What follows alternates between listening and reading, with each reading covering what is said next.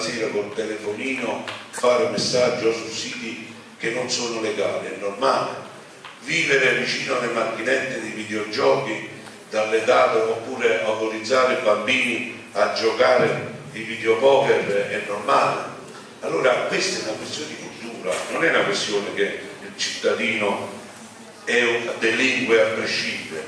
Noi dobbiamo invertire la rotta, solo così possiamo offrire alle future, alla futura generazione dei politici migliori. Io vi invito non solo a fare politica e riempire tutte le sedi pubbliche, ma a farlo nello spirito della legalità, perché si può creare consenso soprattutto quando il favore è generalizzato e non diventa un voto di scambio. Grazie a tutti. Ancora la parola a Maria. Buongiorno, buongiorno, a tutti. Per introdurre eh, i lavori però farei, farei, prima un grande saluto alla dirigente scolastica. Grazie, Io, naturalmente eh, ringraziamo tutti gli intervenuti, ma mi rivolgo ai miei ragazzi perché alla fine sono loro che debbono eh, accogliere, arrivare fino in fondo a queste riflessioni la nostra scuola è, è un istituto tecnico-economico e professionale per l'industria e l'artigianato, ma come spesso succede agli istituti tecnici ed economici c'è un percorso di eh, approfondimento, di attenzione verso i problemi che riguardano gli aspetti giuridico ma economici e con una particolare attenzione allo studio del diritto. Quindi, eh, abbiamo spesso eh, affrontato queste tematiche nelle varie sfaccettature perché l'aspetto della legalità è un aspetto plurimo, complesso che va guardato tanti, per tante sfaccettature e in tanti modi diversi, tutti quanti è importante che portino ad una riflessione e eh, l'incontro degli studenti con le istituzioni sia quelle eh, del, magistra, della magistratura, eh, oggi abbiamo il giudice Silviano, abbiamo avuto eh, interlocuto l'anno scorso credo con il giudice Cantone, ci sono stati vari momenti di incontro con la magistratura e anche con le forze dell'ordine, proprio perché eh, la legalità ha tanti aspetti, sono estremamente complessi e, il rispetto di regole e di più voi lo sapete ragazzi, c'è la cultura della legalità e quella non è solo raccontata, è interiorizzata ed è fatta propria, dopodiché non c'è modo di sbagliare. E allora io vi auguro di ascoltare con attenzione e con eh, grande eh, concentrazione l'incontro di questa giornata, di fare proprie, fate le vostre queste riflessioni magari saranno anche utili spunti per i ragazzi del quinto anno che dovranno affrontare le, prove della maturità, potrebbe essere un aspetto da affrontare alla prova scritta della maturità o al colloquio orale, ma soprattutto deve essere una guida per la nostra vita. Grazie è più una realtà che noi consideriamo eh, speciale, no? un po' lontana dalle logiche legate alla criminalità organizzata e in qualche modo è eh, fortunata, tra virgolette, la, la zona, l'area nella provincia di Caserta, insomma, noi che lo guardiamo da una eh, visione completamente distaccata, quindi dal punto di vista giornalistico, però, però eh, da mesi, settimane stiamo scrivendo ad esempio che eh, anche nella gestire, nel gestire una città eh, che sembra essere un'isola felice è difficile, anche le cose più basilari non vengono fornite alla città, per esempio la mancanza di un'isola ecologica, noi stiamo scrivendo da mesi questa carenza, la questione degli ingombranti che vengono lasciati ai margini delle colline qui a Piedimonte e poi, detto francamente, io questo appunto lo devo fare, ragazzi forse non lo sanno, ma qualche giorno fa, sindaco, due giorni fa, il sindaco si è dimesso tramite Facebook, pare che non abbia neanche diciamo, protocollato ancora le dimissioni, questo dà un po' il, il senso diciamo così, eh, delle circostanze insomma, che, eh, di cui andiamo a parlare ora. Eh, in che modo però ehm, la cattiva gestione della cosa pubblica può sfociare poi nella illegalità? Questa è una domanda che volevo fare al dottor Sirignano. E in che modo eh, le mafie poi entrano in questo circuito? Dico questo perché le mafie si, insi eh, si insinuano, insinuano in un percorso dove lo Stato non c'è. Eh, io ho fatto un esame all'università che si chiamava Storia della questione meridionale e i meridionalisti, Giustino Fortunato, altri meridionalisti parlavano delle mafie della Camorra come un antistato cioè dove lo Stato non forniva i servizi, la Camorra eh, li forniva. Proprio l'altro giorno, parlando di un sequestro, un sequestro a un imprenditore di un calcestruzzo, il calcestruzzo è quel materiale con cui poi si fa il cemento, ehm, eh, un pentito racconta una storia che eh, succede, un fatto che succede all'interno di questo calcestruzzo ed è un, e parla di un sindacalista della filea CGL il quale negli anni 90 eh, va dai lavoratori all'interno di questo calcestruzzo e ehm, chiede di fare uno sciopero perché non vengono trattati bene, non vengono pagati. Questo sindacalista viene avvicinato da un camorrista, la insomma, un dragone, il quale dice tu con, facendo il sindacalista puoi ehm, dilungare i tempi di questa sommossa dei lavoratori. Parlo io con il capo della Calcestruzzi, non ti preoccupare, in mezza giornata faccio pagare i tuoi lavoratori. Ecco, questo è l'antistato, cioè fornire un servizio immediato lì dove in effetti i tempi diciamo così, normali di un'amministrazione o di una vertenza invece sono lunghissimi. Ehm, e quindi... Grazie per l'invito.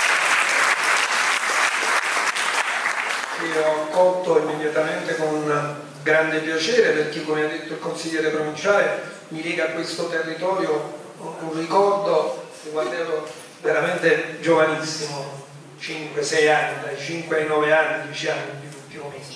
Sono stato qui. Eh, allora il tema è sicuramente interessante. Eh, è stato detto che questa zona è una zona felice dal punto di vista criminale in relazione chiaramente alle, ai fenomeni mafiosi, fenomeni che noi conosciamo nel territorio di Caserta come Grande Casatesi, Gran Letizia, le Quacquaroni, oppure eh, dei Marcianisani per fronte. Sono le principali organizzazioni che controllavano e controllano tuttora il territorio, anche se qui vicino, nella zona di Caiazzo, ad esempio, vi era una presenza degli schiavoni abbastanza importante, la famiglia del vecchio, che eh, aveva un po' anche le mani su questo territorio, però sono passati fortunatamente degli anni, è stato fatto molto, credo che in questo momento non posso essere eh, non posso mai fare affermazioni in senso assolutistico, ma comunque credo che eh, sia obiettivamente un uomo si felice da questo punto di vista. Come la cattiva gestione di un'amministrazione può in qualche modo agevolare invece il formarsi di tentazioni mafiose, no? di eh, propagini di organizzazioni mafiose di altri territori che sono in altri territori, anche in quelli che sono la felice, è certo che può accadere, può accadere perché eh, l'emergenza ad esempio è accaduto anche a Napoli, ma è un'emergenza che purtroppo caratterizza molti dei settori della vita, l'emergenza rifiuti ad esempio, fa sì che lo Stato incapace di risolvere il problema abbassi il livello di controllo per affrontare l'emergenza. E quindi si favorisce, ovviamente senza volerlo direttamente, l'ingresso di formazioni mafiose attraverso imprese che non sono direttamente riconducibili alla mafia, ma che sono mafiose perché sono derivazione della mafia, perché in quel modo si riesce ad entrare in un meccanismo dove non è più la libera concorrenza, non è più l'appalto pubblico controllato, ma è una regola di trattativa diretta che favorisce chiaramente poi l'ingresso di alcune società quando il servizio viene gestito dalle società mafiose, chiaramente il tessuto di quel territorio viene inquinato. E viene inquinato e l'inquinamento è un inquinamento che poi in qualche modo continua non finisce perché basta entrare. Una volta entrato in un sistema amministrativo poi si cerca di conquistare anche altro e quindi si inserisce nelle mense, nella, nella eh, parte diciamo, che vi riguarda di più, perché tutte le mense per esempio nel territorio di Caserta erano tutte diciamo, appannaggio della mafia casalese, Iovine era quello che gestiva tutte le mense, sia a livello provinciale che a livello comunale, della sanità, tutte le mense degli ospedali. Quindi vedete come poi piano piano la mafia entra e viene a bussare alla vostra porta. Perché? Perché il discorso sulle mafie, quindi estendo il discorso lotta alle mafie, non significa soltanto lotta a chi spara, non significa soltanto contrastare un crimine che mette in pericolo la vita o il benessere, significa contrastare tutte quelle manifestazioni di prepotenza, tutte quelle manifestazioni di arroganza del potere che in qualche modo non è gestito o finalizzato ad accrescere il benessere collettivo, ma è finalizzato ad accrescere il benessere individuale, ad accrescere il potere fino a se stesso per utilizzarlo poi nei rapporti con gli altri, quindi anche con la parte pubblica, in modo da sopraffarlo, da dettare le regole, da gestire le risorse pubbliche in un modo piuttosto che in un altro, da indirizzarle quindi verso persone che sono direttamente riconducibili a se stessi, in modo da avere un ritorno che o è di consenso, ma non è mai solo di consenso, o è economico. Allora tutto questo vi fa capire che lottare il fenomeno mafioso non significa soltanto arrestare le persone, ma significa combattere la prepotenza e quindi è qualcosa che non è di esclusiva pertinenza delle polizie, della magistratura, ma è qualcosa che investe la vita di tutti e quindi la responsabilità di tutti, della scuola, della famiglia, vostra. Io tutte le volte che vado nelle scuole cerco di evitare di caricare di responsabilità i giovani, perché voi non c'entrate niente in tutta questa storia. Cioè voi dovete soltanto cogliere l'opportunità che vi offrono nelle scuole per acquisire la necessaria cognizione e consapevolezza e poter poi decidere cosa fare. Decidere chi mente e chi dice la verità, chi è bravo e chi è cattivo, chi vi offre un percorso politico solo perché vi in qualche modo attrae in una spirale che poi vi sembra quella giusta, ma in realtà è ingiusta perché è una spirale che potrebbe determinarvi a non essere più voi stessi, a ragionare con la testa di qualcun altro. Questo è accaduto molto spesso nelle regioni del meridione perché nelle regioni del meridione purtroppo, ed è questo che poi caratterizza la mafia del meridione, e ritorno anche all'argomento Stato-antistato, la cultura è sicuramente più bassa delle regioni del nord Italia, ci sono grandissime professionalità, grandissime potenzialità, perché noi siamo costretti a vivere in circostanze di difficoltà oggettive, anche per andare a scuola o per avere una scuola funzionante, malgrado l'impegno dei professori. Ci sono scuole dove piove dentro, dove non ci sono i riscaldamenti, dove non ci sono le palestre, non ci sono campi sportivi. Allora è obiettivamente più difficile crescere, una società così non può crescere. E allora la ignoranza la cultura dello Stato assente, per cui l'antistato non è antistato, ma è lo Stato, perché almeno ti offre qualcosa. Perché poi ragionare a chi sta male, fare un ragionamento devi avere rispetto delle regole. E poi però nel rispetto delle regole vedi che va dietro rispetto a quello che invece le regole non le rispetta. E che mentre chi non le rispetta vive nel benessere.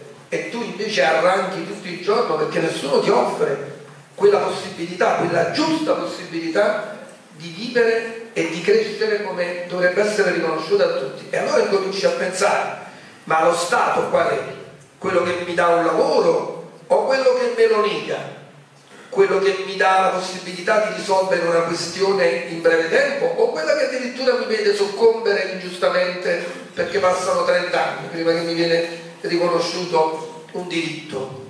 È lì che si insinuano le mafie. Perché come ha detto giustamente Merito, quando una persona si rende conto che rivolgersi alla giustizia significa quasi sempre non avere giustizia, perché anche il tempo che trascorre dall'istanza di giustizia alla definizione significa già ingiustizia. E allora nel frattempo la tua vita deve andare avanti, non puoi aspettare la giustizia, devi, non puoi.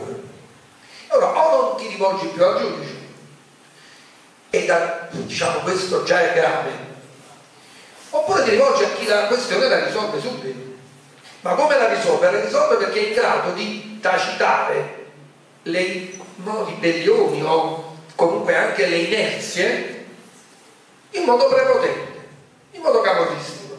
E quando interviene un latore, del tipo latore, potrebbe essere Santo, potrebbe essere Bidognetti o altri, là non ci sta sentenza, là è una devi fare così, stop.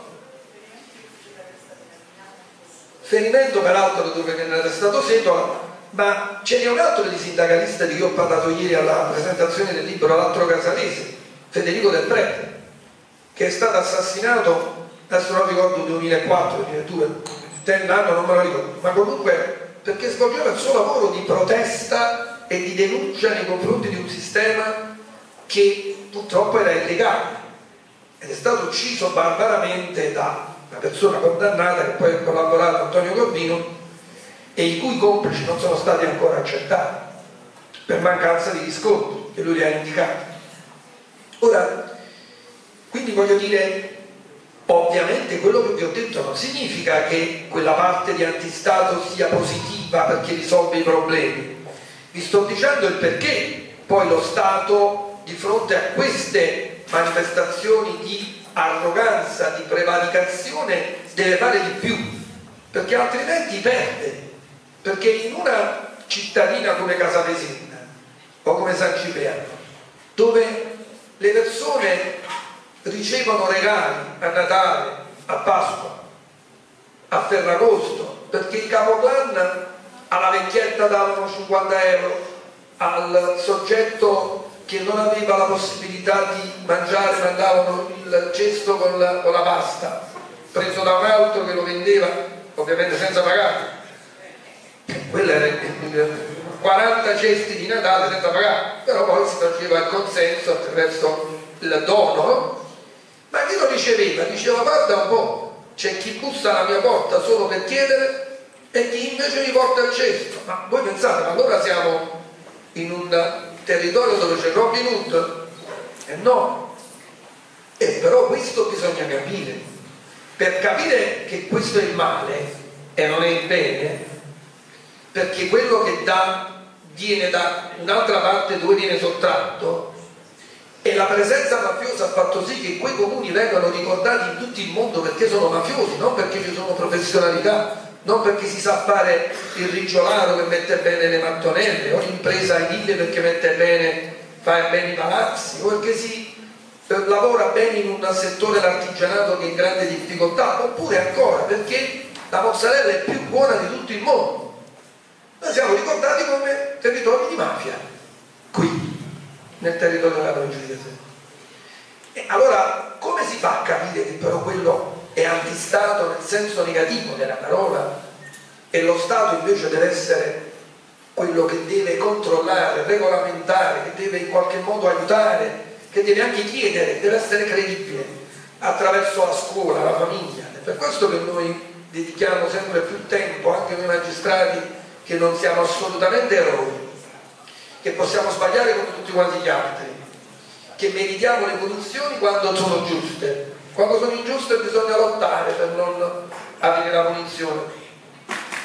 Questo però si deve fare qui, qui dentro, quindi voi in questo rapporto con i magistrati, con i giornalisti, con tutti i rappresentanti della, delle istituzioni che vi parlano di legalità, dovete saper trarre solo un argomento importante da portare a casa vostra e da far in qualche modo ragionare anche i vostri genitori.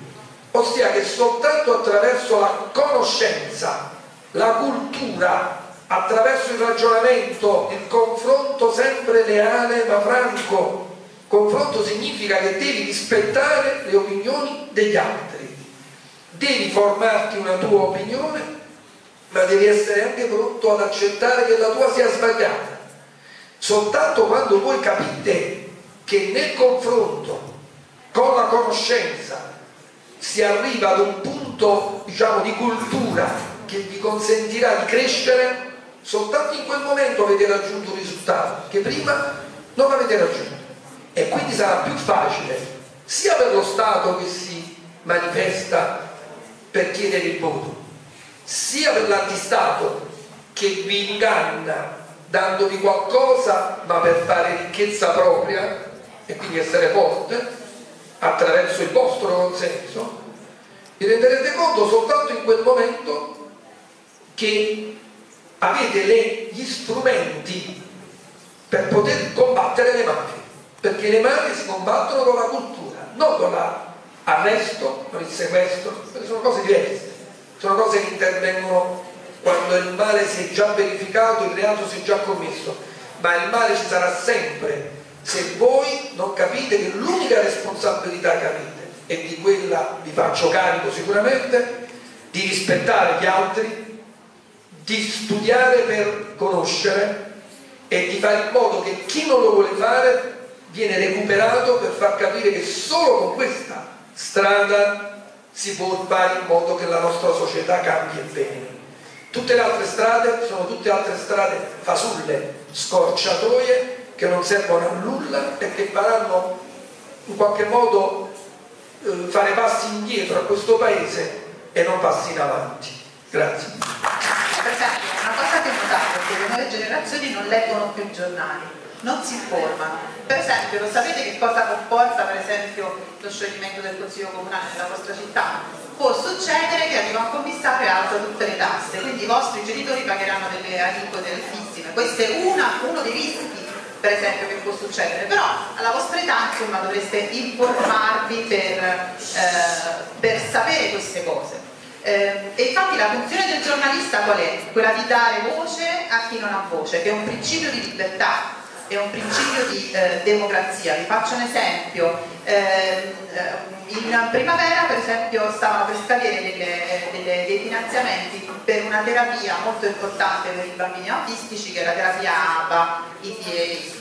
Eh, e, e, quindi eh, alcune mamme si erano organizzate via social per fare in modo che questo non accadesse, che fosse prorogato questo servizio e si erano date appuntamento davanti all'asta di casetta giornalisti che cosa hanno fatto? Non hanno fatto altro che dare voce a queste madri che si sono unite insieme a quelle di, tutte, di tutta la provincia e hanno fatto in modo che questa terapia eh, potesse poi continuare, infatti è ancora, eh, è, è ancora, in atto e questo è un principio diciamo, fondamentale che ha dato la libertà a questi ragazzi di, di svolgere delle terapie del tutto gratuito con il servizio dell'altro. Ehm, e l'informazione quindi alla base, io vi eh, invoglio in qualche modo a leggere eh, che cosa accade nei vostri territori, a informarvi, non solo, se non siete abituati con i cartacei, anche con eh, le informazioni che ci sono sui siti online, perché attraverso soltanto se siete informati potete cambiare le cose. Voi potete fare, eh, voi stessi potete fare informazione attraverso i social se vedete una strada, una strada, rotta, qualcosa che non va, una palestra eh, non funzionale all'interno della vostra scuola, mettetelo su, sui social, taggate il sindaco, taggate la regione, voi stesso potete fare informazione, non è soltanto una prerogativa dei giornalisti, avete un potere, i social, il web, da un potere immenso a tutti, utilizziamolo nella maniera intelligente. Eh, ed è appena passata anche la settimana del ciberbullismo, no? Eh, eh, cyberbullismo. Eh, in realtà eh, c'è la polizia però che eh, con, una, con UPOL eh, può fare in modo che i ragazzi denuncino o eh, in qualche modo diano un input per iniziare un'indagine su ad esempio su uno spaccio di droga che avviene all'interno di un istituto oppure eh, in piazza oppure denunciare eh, eventi di eh, cyberbullismo o di bullismo comune. Quanto viene utilizzato il U-Poll dai ragazzi? I ragazzi lo sanno che c'è questo, eh, questa possibilità di denunciare via web anche in maniera anonima se non mi sbaglio su U-Poll. Lo sapete? Lo sapete che esiste U-Poll? No, ve lo spiego per quanto riguarda l'applicativo la, UPOL, questo è stato un applicativo pensato dalla Polizia di Stato per eh, contrastare eh, lo spaccio di sostanze stupefacenti di fenomeni di bullismo. Eh, tale, tale, applicazione eh, ha avuto e sta avendo una rispondenza positiva eh, per quanto riguarda, poiché è un applicativo che consente la geolocalizzazione delle, delle chiamate e consente di intervenire in tempo reale perché eh, viviamo tutti eh, nell'era digitale e quindi eh, anche per i più giovani c'è la possibilità di interagire con l'ufficio di polizia, eh, l'ufficio della polizia di Stato più vicino sul territorio per contrastare questi fenomeni che sono importanti perché consentono un, un intervento in diretta in, in, tempo proprio decisamente reale. Quindi vi invito a uh, denunciare perché il, il crimine, il, gli atti delittuosi non sono solamente uh, quelli là che vediamo nella vita di tutti i giorni, ma sono anche, anche il web che è il mondo meno imbrigliabile. Lei da adolescente aveva già in mente di fare il magistrato e perché? No, sappiate una cosa, che non c'è niente che non si faccia con i sacrifici. Cioè non è possibile conquistare qualcosa nella vita senza sacrificare.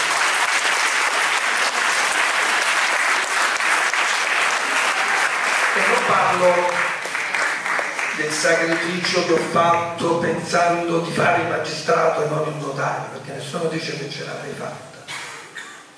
Però invece parlo di sacrifici che si devono fare perché tutto quello che si ha si deve meritare. Non è possibile sottrarlo ad altri, non è possibile raggiungere obiettivi attraverso scorciatoie oppure non rispettando le regole Vedete, oggi io vedo molti ragazzi che si accontentano di queste lauree che si fanno nelle scuole online, mi hanno anche chiesto di fare delle lezioni sui video personali, mezz'ora, pagate, strapagate, non le ho fatte più, perché mi sono sembrate qualcosa di per me non accettabile. Ma poi che cosa siete?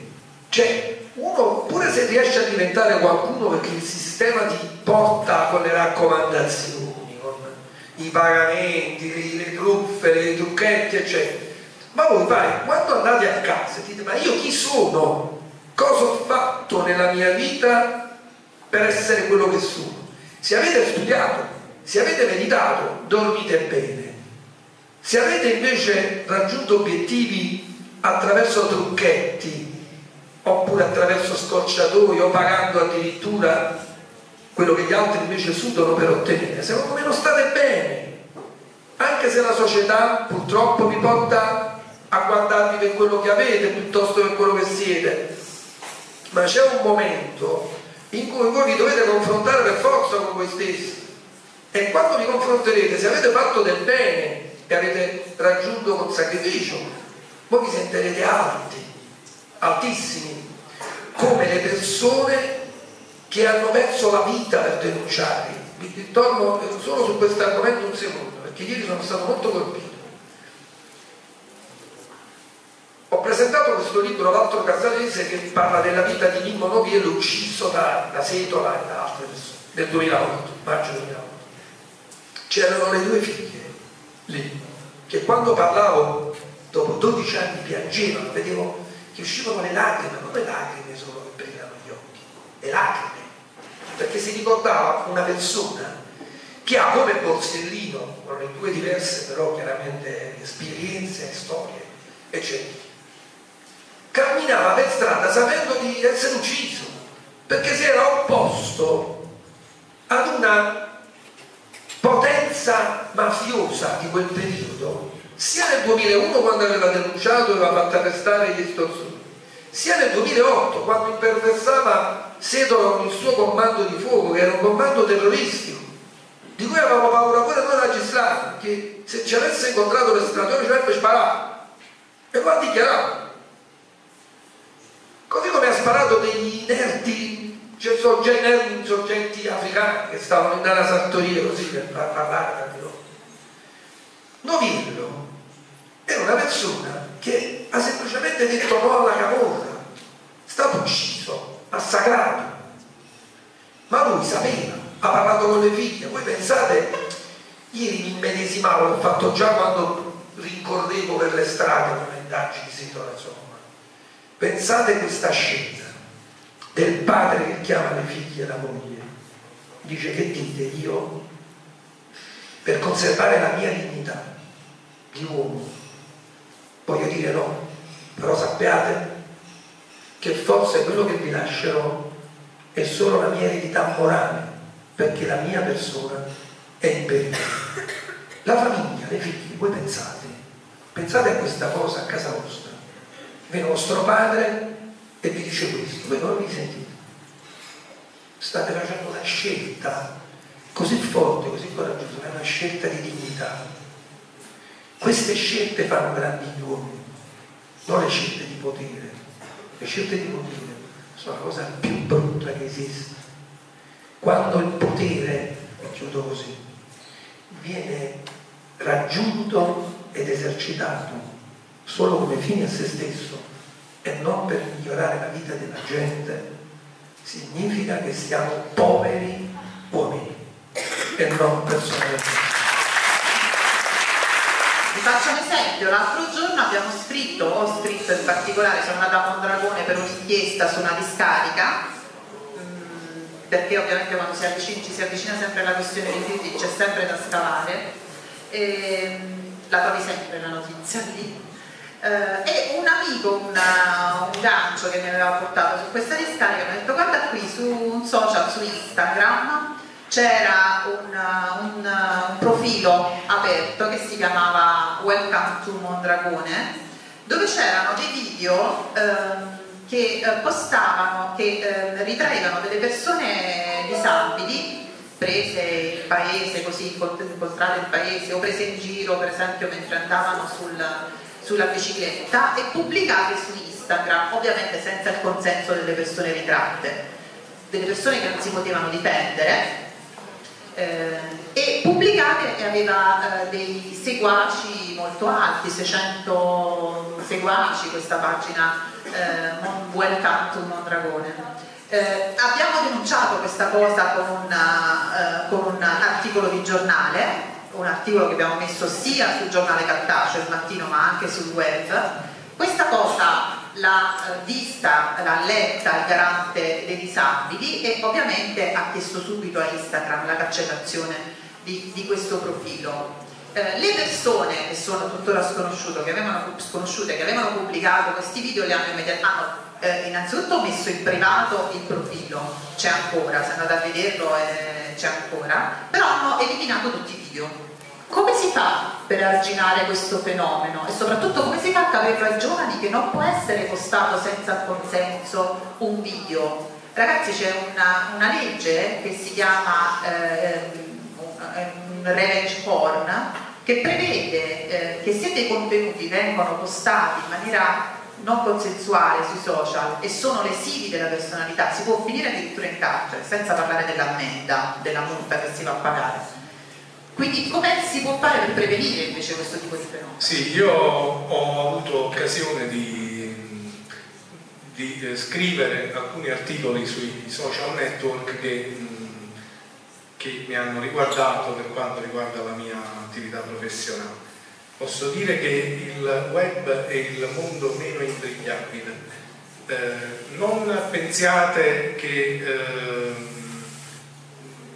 diciamo che i social network, internet, il mondo di internet sia un'immensa prateria dove ognuno può fare quello che vuole. Secondo eh, alcune recenti sentenze, allora, eh, Facebook, Instagram, tutti i siti più, eh, più diffusi sono, eh, sono un'agorà virtuale, cioè una immensa piazza immateriale, cioè significa che quello che dico su internet è come se lo stessimo dicendo in quest'aula.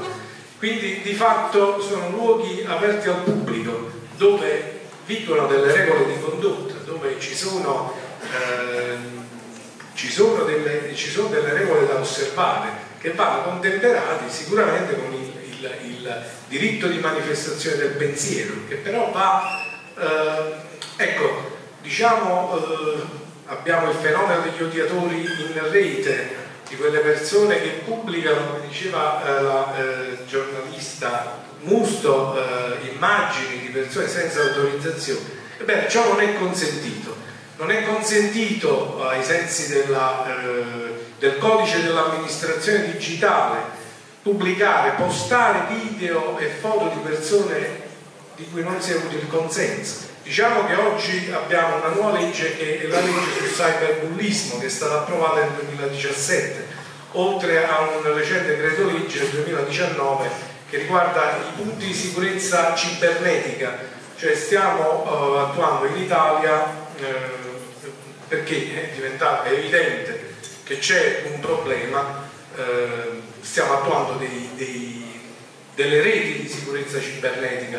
La famiglia vi deve dare i primi i rudimenti, ma anche la scuola, i nostri insegnanti. Io ricordo con grande passione i miei insegnanti del liceo che mi hanno, mi hanno formato. Quindi sappiate fare frutto di queste situazioni, sappiate eh, diciamo, capire che eh, il, vostro comportamento anche sul web, anche sui social network, non è, eh, internet non è il far west, no, non è il far west, ha bisogno di regole condivise, di regole da rispettare ed è, ed è un compito che dovete, eh, dovete necessariamente svolgere se volete crescere. Non ci sono scorciatoie, credetemi. Ok, grazie. Io ho sentito che Conte, il Premier, ha detto che ci sono 100 miliardi spalmati in 10 anni per il nuovo piano per il Sud, per fare in modo che il Sud, eh, diciamo così, si riprenda in qualche modo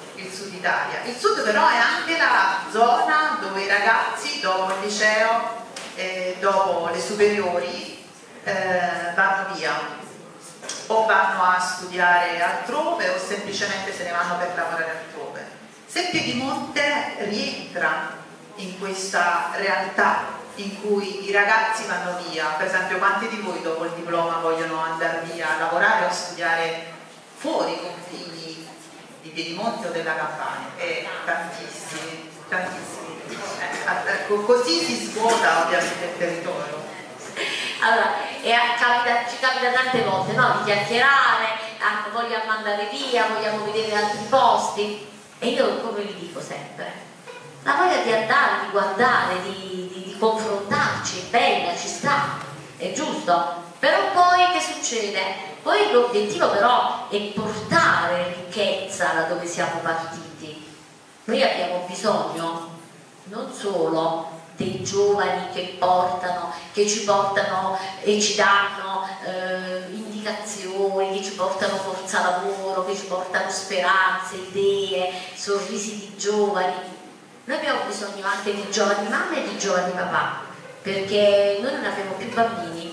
Allora, questo gruppo di ragazzi qui l'anno scorso ha fatto un'esperienza di alternanza lavoro all'estero, internazionale, e quindi siete stati... Eh, abbiamo partecipato a una fiera e abbiamo creato una nostra azienda che si chiamava Ipmadese che praticamente valorizzava i prodotti del nostro cibo. territorio. Sì. Il cibo? Sì. Siete stati sulla Rambla? Sì. E dov'è? Dove la troviamo questo sito Piedimonte? La troviamo su internet? Cioè l'avete creata e poi?